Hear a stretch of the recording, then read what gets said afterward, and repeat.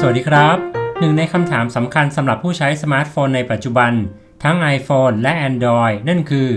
จะเกิดอะไรขึ้น ถ้าเราชาร์จไปเล่นไป แบตเตอรี่จะเสื่อมเร็วขึ้นหรือไม่ แบตเตอรี่จะเสียเร็วกว่าเดิมไหม เราไปดูคำตอบกันเลยครับ ฝากเพื่อนๆ กดปุ่มติดตามเป็นกำลังใจในการทำคลิป และอย่าลืมกดปุ่มรูปกระดิ่ง เพื่อให้ YouTube แจ้งเตือนทันทีที่มีคลิปใหม่ๆด้วยนะครับ ก่อนที่เราจะไปดูคำตอบกัน หนึ่งในสาเหตุสำคัญที่ทำให้แบตเตอรี่ของ iPhone, iPad และ Android เสื่อมเร็วขึ้น นั่นคือความร้อนสะสมนั่นเองครับ ดังนั้นการชาร์จไปด้วยใช้ไปด้วยพร้อมกัน จึงเพิ่มโอกาสที่จะทำให้แบตเตอรี่เสื่อมเร็วขึ้น เสียง่ายขึ้นครับ แต่ก็มีเงื่อนไขอยู่ที่รูปแบบการใช้งานด้วยนะครับ เช่น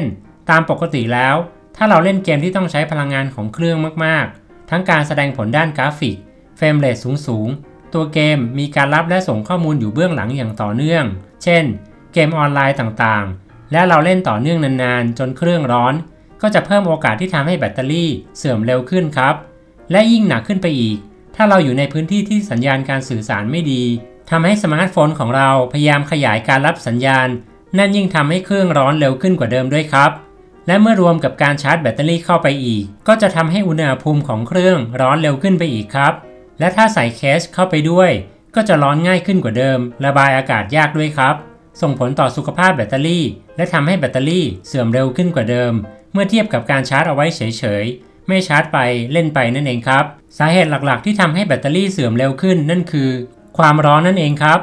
วิธีที่จะทำให้เกิดความร้อนน้อยลง อาจจะเล่นไปชาร์จไปในห้องแอร์ก็พอจะช่วยได้ครับ แต่ถ้าจะให้ดีไม่ควรชาร์จไปเล่นไปนะครับ ขอบคุณมากครับที่ติดตามรับชม แล้วพบกับสอนใช้ง่ายนิดเดียวในตอนหน้า สวัสดีครับ